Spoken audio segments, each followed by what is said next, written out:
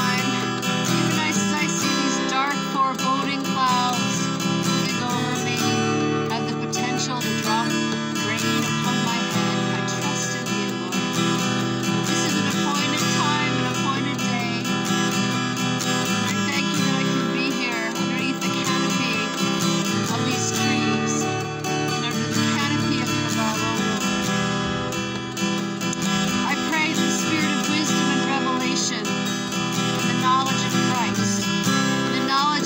Yeshua, HaMashiach, my Messiah, and encounter me. In these days, these days of tabernacling with you.